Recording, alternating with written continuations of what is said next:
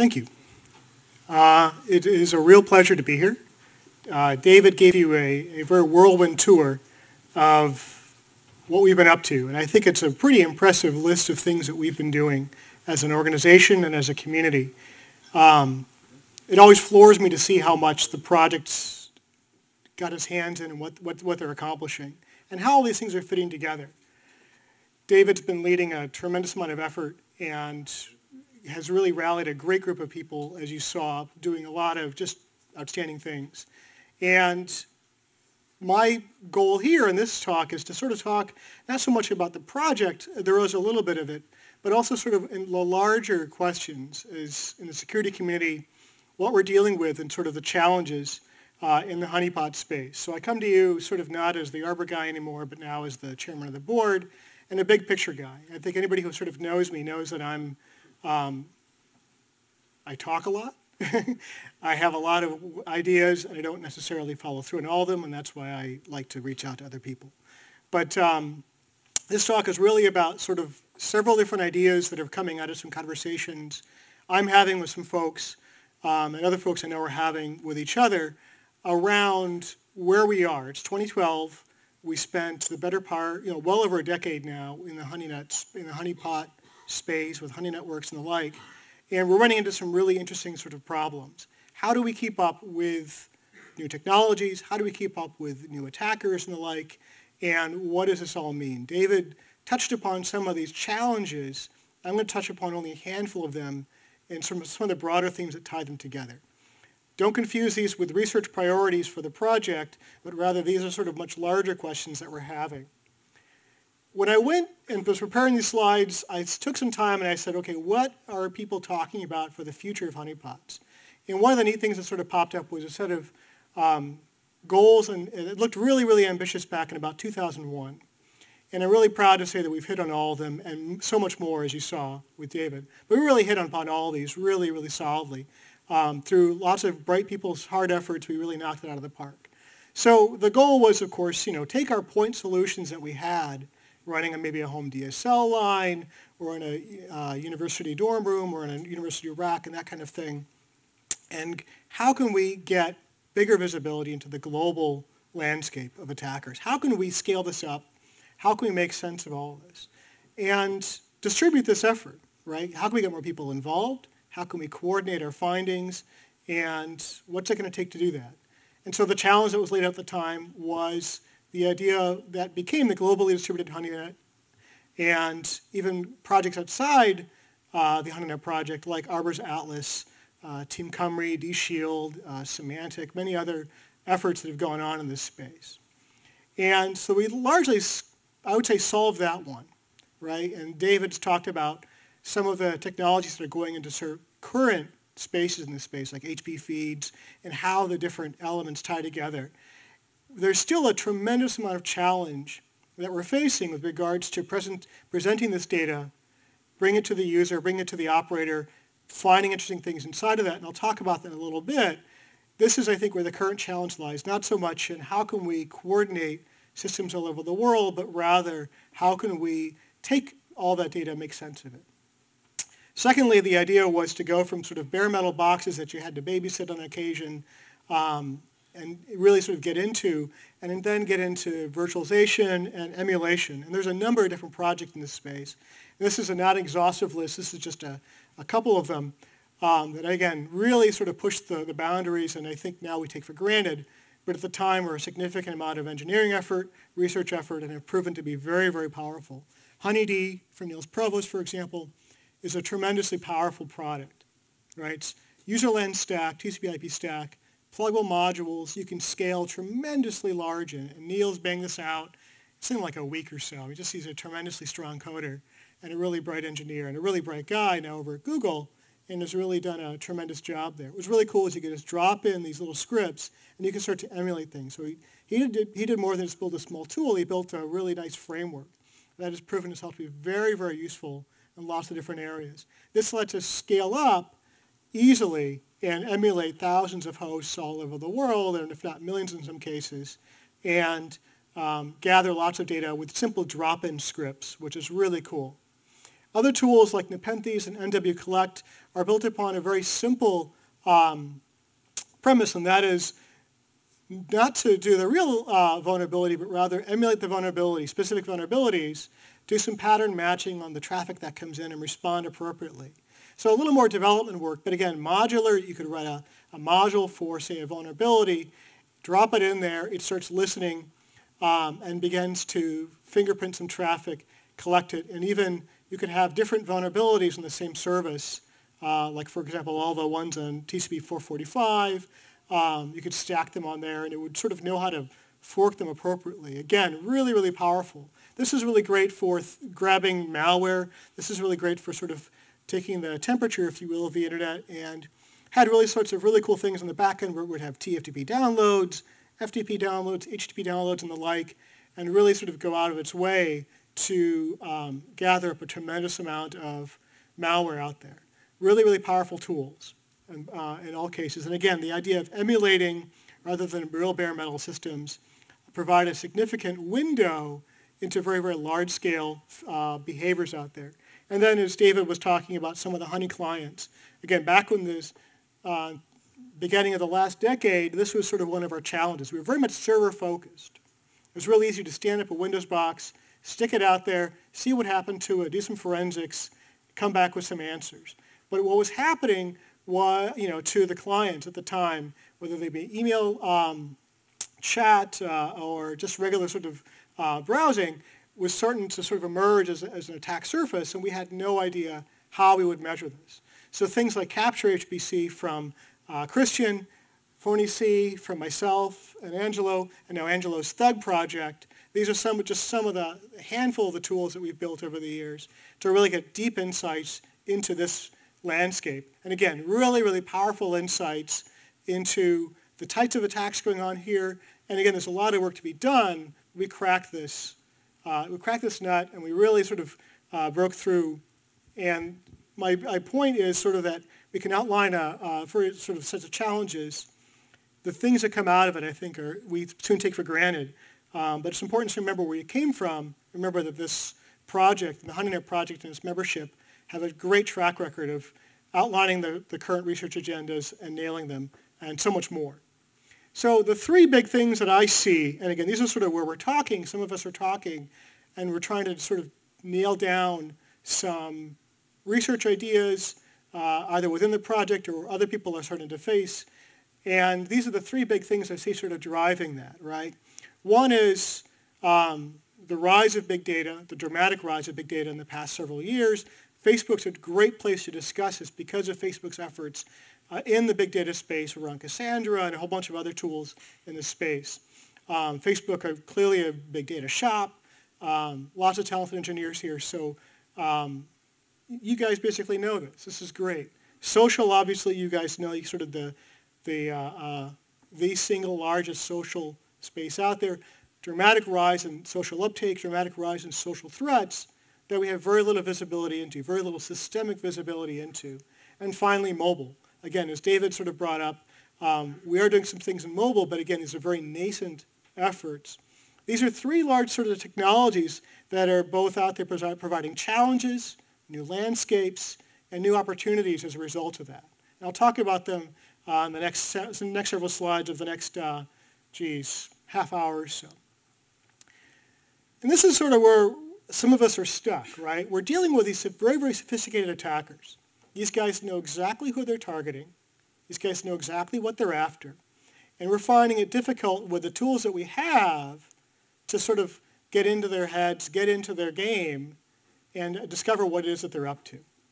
We've had a, um, well, I'll be, I'll, be, I'll be frank, we've had some discussions about how we're not sort of getting insights. And some of it comes down to the tools that we're deploying, right? We're sort of deploying these tools that are generic, real easy to, to launch, but are not necessarily giving us insights into very specific kinds of attackers again, about 10 years ago, the idea was we could use honeypots as a defensive mechanism as well. So not just insights into attackers, but again, draw them over there, get them to waste their time and effort, get some insights, figure out who they are quickly, blacklist them maybe at the border, and protect your real assets. This is still a dream. This is, I think, even more so uh, than had been in the past to sort of a goal uh, now again, the targeted attacks. The question is, how do we get there? So it's important that we know the attacker community that we're facing. We cannot stand up generic systems like Nepenthes or like Honeyd and hope to just sort of lure them in. You have to build a tremendous amount of backstory and ecosystem around them to get the attackers convinced that this is an asset or this, these are assets that, you're, that they're after. So again, it's going to require a lot of effort on our part. This is sort of where some of us are sort of coming, trying to come into this. It's going to require some effort on our part to understand the attacker landscape, begin to sort of present to them an image, an idea that they can now start to attack and move into this space. So how can we entice them in, right? How can we create the appearance, again, this is all deception. How can we create the appearance that this, what they're after is right over here? Yes, please come in, have a look around, grab what you want, uh, maybe with a little bit of effort, fingerprint them this way. This is going to require a lot of effort. We know this. So we're finding that these guys have a lot of really serious motivations. Rather than sort of running along, sort of uh, like a little kid might, you know, checking who's got, who left the cars unlocked in the parking lot, these guys are really right after a very specific set of um, goods. These guys have very deep motivations. They're willing to invest time and effort in profiling the victim organization or the victim sector in some cases and the organizations within there, what it is they're after, how to get in, what are the weak points, what are the likely places for them to get into it, and how are they going to try and break in slowly, methodically, devote some time to this. Frankly, we cannot get into this game, we cannot get into this cycle with them unless we're willing to put in the same kind of time and effort. And these are some of the, the challenges that we're facing at this point. These guys are not easily fooled by honeypots, right? These guys are able to sort of quickly spot, hey, I'm in the fake landscape. So how can we up our game as well in this space? How can we up our game? How can we um, present to them a truly compelling picture that they're operating in? And how can we do this? And this, these are some of the questions that we're facing here. On the big data front, I really love this graphic from O'Reilly from a few years ago that sort of shows the stack, right? So you've got fast data on the bottom, big analytics in the middle, and services on top. And you can sort of go up and down and figure out where you want to be in terms of speed, scale, and what you want to offer, and what's required, what kinds of technologies are required to start thinking about in this space. And I use this a lot. I've actually spent a lot of time right now in fast data. We more or less have solved the fast data problem, spending much of time at big analytics. A couple of these things that are canned, but really focusing on this proprietary code right here, um, largely. Anyhow, this is the kind of stuff that has, I think, a tremendous revolution available to us.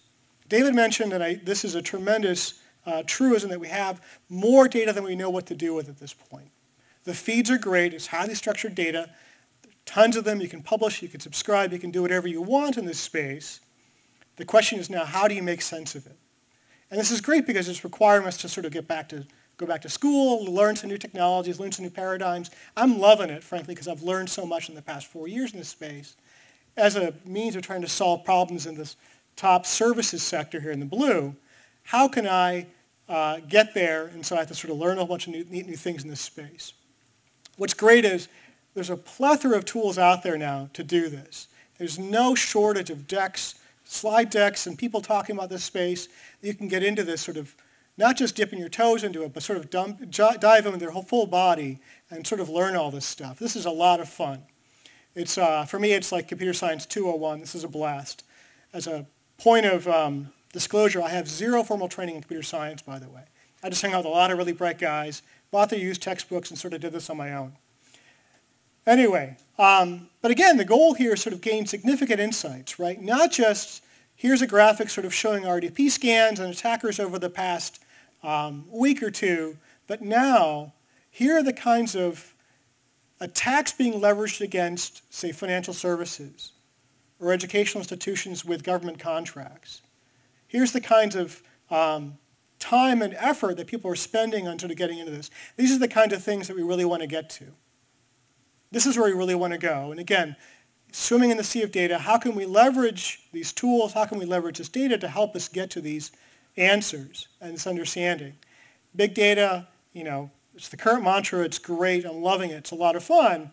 But this is, I think, where we need to sort of learn a lot, invest a lot of our time and effort into this space, and go beyond just simple two-dimensional plots, and now really into deeper, deeper, deeper analytics that provide that kind of insight and understanding so we can, again, retarget our efforts, focus our efforts, be where they want it, be, be where they expect us to be so we can be attacked and we can gain some insights, distract them if we can, and the like.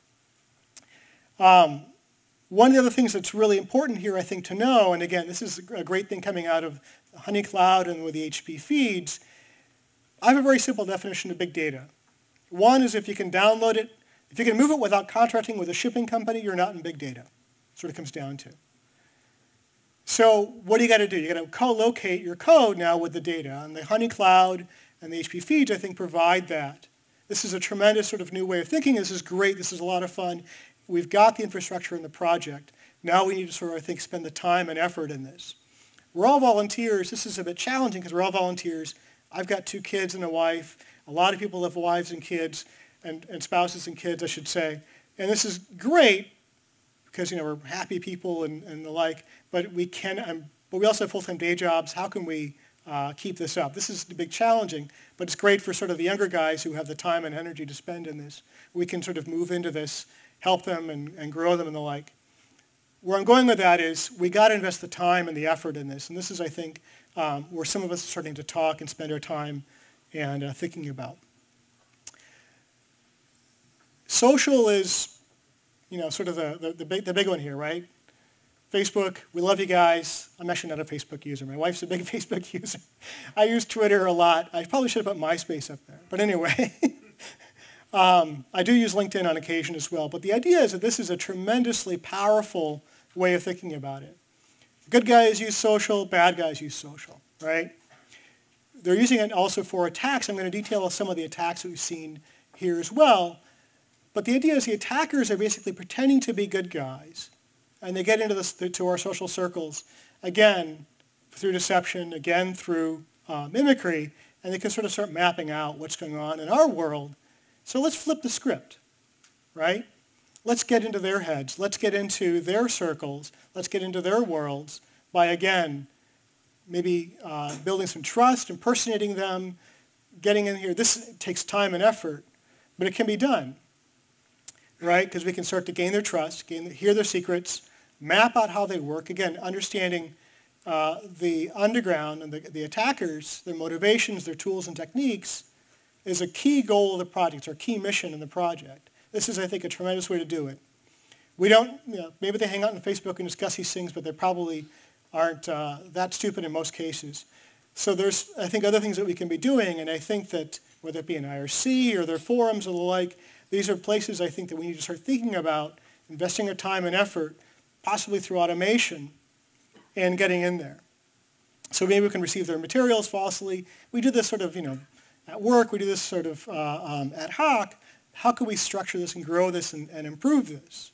This is a, sort of a, a, dicey area to play in, but I think that, again, this is the kind of area that the project and projects in general in this space need to spend a lot of time thinking about. There's some unanswered questions here with regards to possible legality, certainly ethics, and risks involved in this, both to people and, and organizations. How can we make sense of this?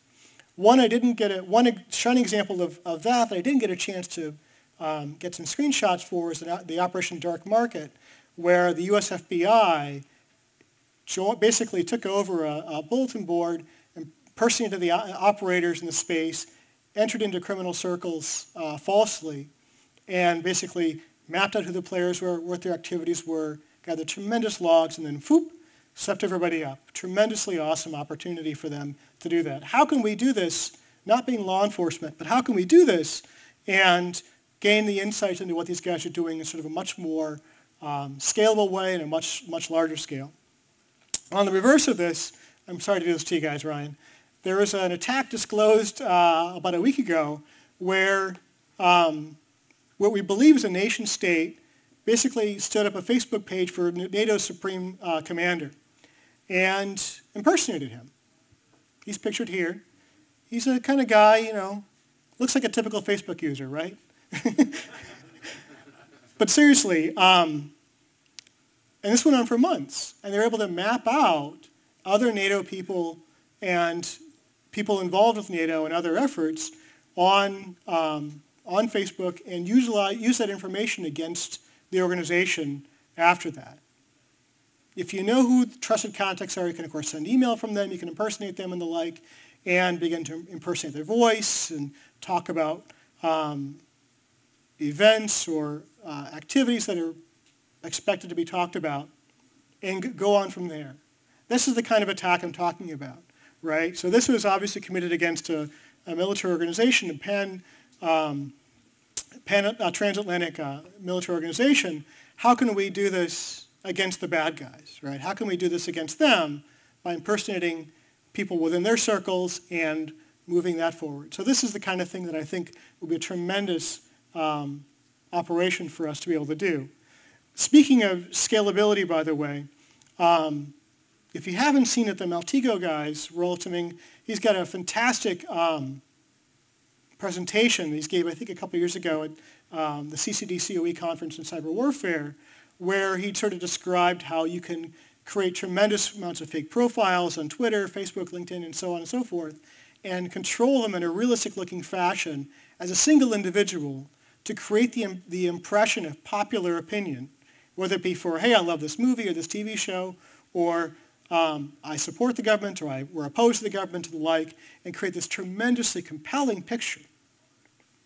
So again, this can be done automatically with a few individuals and some code. It's not that hard. So this is the kind of things we should be tackling. Here's another one. This was uh, out of Wired about a year ago, Primus, the Primoris era um, situation. So this is, this is amusing because this is basically a, a uh, um, Twitter account who sort of entice everybody in the intelligence community here in the U.S. by pretending to be this sort of very attractive woman um, who was very accomplished in uh, analysis in the intel community. And she suckered a lot of people in, a lot of guys in. And this Wired story is really fantastic to read because there's a lot of guys basically saying, yep, let's face it, she had a pretty great looking uh, uh, profile picture. I always suckered in. And I talked about things I probably shouldn't have talked about. So do we do this against the, the, uh, the bad guys as well? This is uh, her profile picture, um, faceless shot of a bikini. You know, let's face it, there's a lot of guys who are pretty lonely, um, might be willing to um, talk to somebody who claims to know um, space and missile defense, rocket science, and defense uh, uh, intelligence community stuff. There's a lot of guys out there that think are smiling, thinking, yep, I probably would have fallen for that as well. 1,276 followers, um, and all sorts of really crazy mystery here. But this is, again, this is the kind of thing that I think that shows the true power of social media as a way of connecting with people, right? Flip the script, use it against the bad guys, draw them out, gain their confidence, draw them out, understand their motivations, and feed that back into the Defender community. Key stuff, key mission um, of the project. Moving on, mobile is a, um, both a technology as well as I think uh, sort of a social phenomenon as well. I mean, mobile is a, an outstanding technology to me, right? One is it's incredibly personal. Um, you know, you have your device in you at all times. It's got tons of personal information about you. The meta information about where it's located, who you're talking to, et cetera, is tremendously rich. It's a, from a technology standpoint, it's a tremendously wide open attack surface. Not a whole lot that we know about it. Not a whole lot that uh, um, we have visibility in. David talked a little bit about some of our projects efforts. For example, uh, the Android reverse engineering, the ARE image that we've produced, which bundles together a lot of tools um, and some of the open areas we have, for example, I, Apple's iOS, um, Windows Mobile, um, BlackBerry and the like, other attack platforms. But again, this is something we're sort of getting our hands around as time goes on. This is, I think, a, a tremendously rich area, right? Tremendous growth globally. I think last year or the year before, more mobile devices sold than traditional PCs and laptops. Wildly popular. So that's, you know, not including just smartphones, but really any sort of feature phone, the like, sort of dumb phones. But again, tremendously popular. How can we, we should be paying attention to this. How can we scale this up, right? lots of, lots of uh, uh, room to grow, very, very little visibility. Tremendous opportunity here. Last year was basically the year of Android malware. There's a graphic from McAfee showing quarter-on-quarter growth of new malware samples in the Android platform by quarter. And this is just through Q3 of 2011. Past two quarters, the current quarter and the Q4 2011, are even higher. So I, I had a really good laugh when um, I think it was the lead security guy for Android over at Google was like, there's no, there's no Android uh, malware problem. It's all just made up by the AV companies. Um, we know it's, that's not the case. We know that this is actually a pretty accurate graphic. But again, finding these things and detecting them and qualifying them, doing something about them, gaining insights into that whole space is a perfectly natural fit to what the projects and these projects in the honeypot space should be focusing on. And we are, we're getting there. But it's going to require, I think, a lot of effort and a lot of time to think about this. It's not simply a matter of sort of transferring our current tool sets over there. There's a whole lot of new things that we should be thinking about. Some years ago, Mikko uh, Hyppönen, Chief Research Officer over at F-Secure, used to walk around with a um, modified Nokia with um, uh, Bluetooth turned on. And he would pick up hits from Bluetooth worms. And you know, he's like, he'd be surprised how many were out there. Right? And you'd find them in hotel lobbies and the like, or the airports. I was really sort of interested to sort of see that. This is the kind of thing we should probably be following up with, right? This is the kind of thing that, that we should be doing. I don't know if Bluetooth is still sort of the, the number one protocol people are sort of tackling there, but uh, um, this is, I think, worth paying attention to. All right. A couple of other needs, I think, that are sort of implicit in all of this, especially when we think about social, we think about big data, we think about uh, enticing guys in, right? We need this, we need generators of realistic but fake data. It has to look real, but it has to be fake.